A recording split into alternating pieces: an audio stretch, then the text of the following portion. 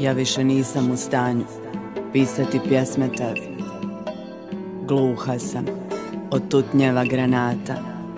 Uši su mi nijeme, ruka mi se sapliče o riječi. Da li ću ikada više moći pisati tebi?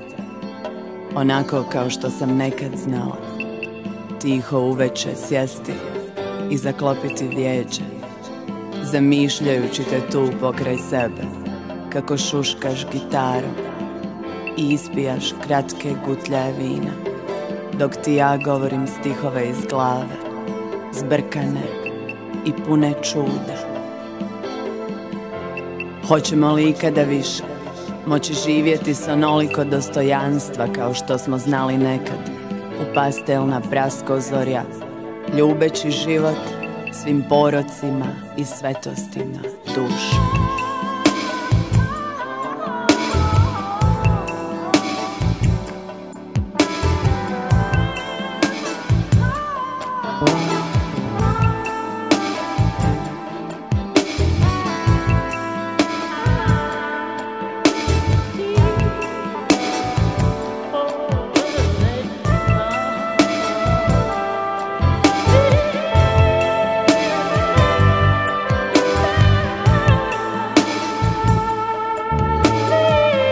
Tako je čudno misliti na život u ovom trenutku Kada smrt pleše iznad nas svoj drhtavi balet. Misliti na onaj život iz američkih soap opera Ili na socijalističku burlesku blagostanja i jednakosti Misliti na našu ljubav To je svetogrče U ovom trenutku kada umiru djevojčice sanjajući trno ružicu a ja baš to činim večeras Vješajući pjesme o zidove Umjesto zajedničkih slika.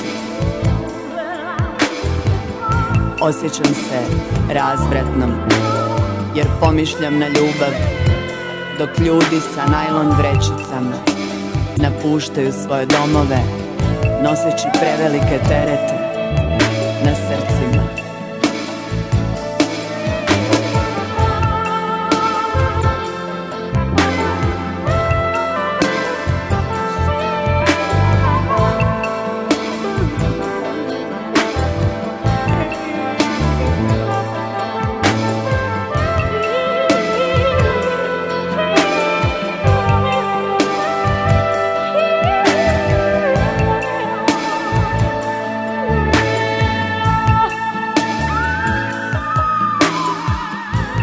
Da li ću ikada više moći pisati tebi